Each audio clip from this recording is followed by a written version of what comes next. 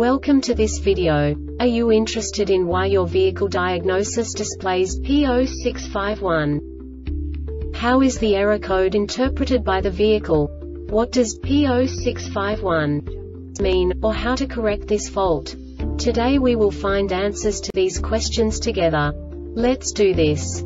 First, let's look at the history of diagnostic fault code composition according to the OBD2 protocol, which is unified for all automakers since 2000. We divide the electric system of automobile into the four basic units. Powertrain, body, chassis, network. This distribution is defined in the first character code. If the second character is expressed as zero, it is a standardized error.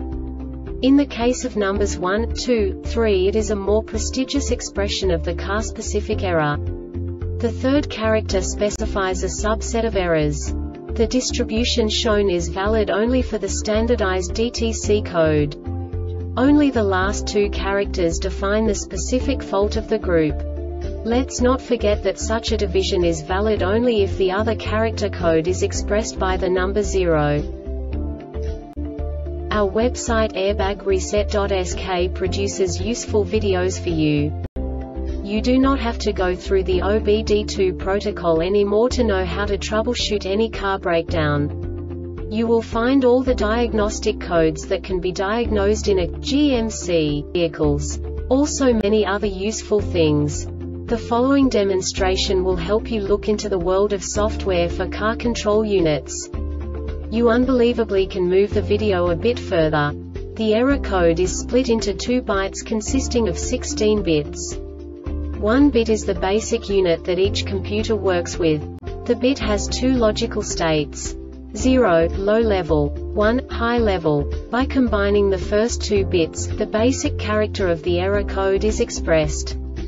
The next two beats again determine the second character.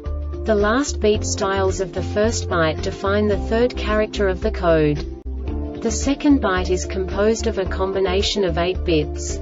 The first 4 bits determine the fourth character of the code.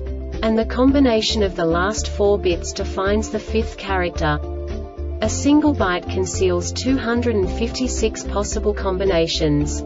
We now know in what way the diagnostic tool translates the received information into a more comprehensible format.